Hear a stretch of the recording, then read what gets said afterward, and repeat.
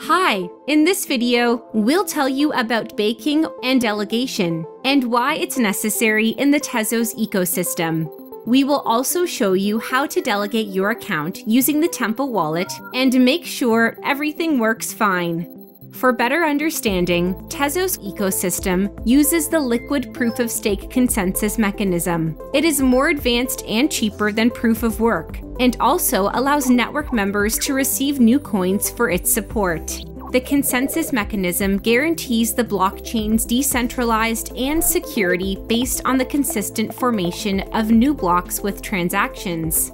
This process can also be called baking. Baking is the act of signing and publishing blocks in the Tezos blockchain. Long story short, this is the cryptocurrency mining when one receives new XTZ coins for supporting the network. Bakers are an essential part of the liquid proof of stake consensus. They guarantee the correctness and consistency of all transactions in the block, as well as the absence of double spending of tokens. To become a full fledged baker, you need to have at least 8,000 XTZ, run your node, and provide full time support. If you have XTZ tokens, but you don't want to launch your own node, you can delegate your XTZ tokens to bakers with an already running node in order to get the best rewards of the mining based on your contribution. Delegation is the right and opportunity of every member of the Tezos network to transfer their vote in the form of XTZ tokens to other bakers. Delegated funds are not frozen and are not moved anywhere.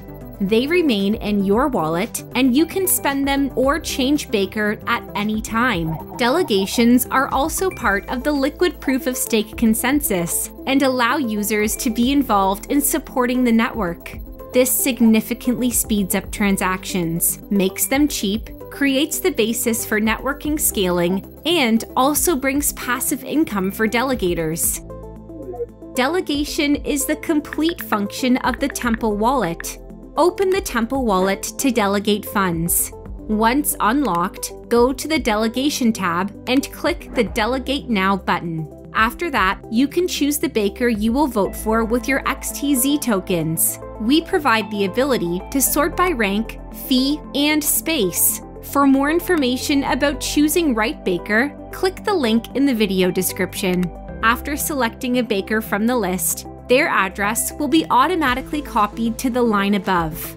Then, set the transaction fee and click the Delegate button. You can check the success of this transaction in the TZKT Block Explorer by clicking the link tzkt.io in the Success window or in the Transaction on the Activity tab. You can see the delegation status at your address in the TZKT Block Explorer. To do this, copy your address from the Temple wallet and paste it into the TZKT search box and press Enter.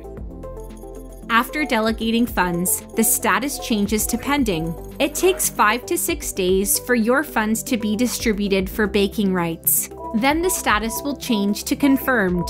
After another 14 to 15 days, the status will change to active, and your funds will participate in baking.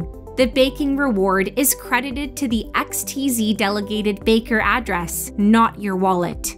The rewards will be frozen for 14 days. Unfrozen rewards will be available to Baker and the delegator's distribution. However, some bakers distribute rewards to their delegators immediately after baking. The first reward payout will be available in 37 days, or it can take 23 days if Baker pays out in advance. For monitoring your rewards, subscribe to notifications from the Baking Bad bot. The bot notifies users about received payments, expected rewards, and if a baker underpays or misses payments. The link to the bot is in the video description.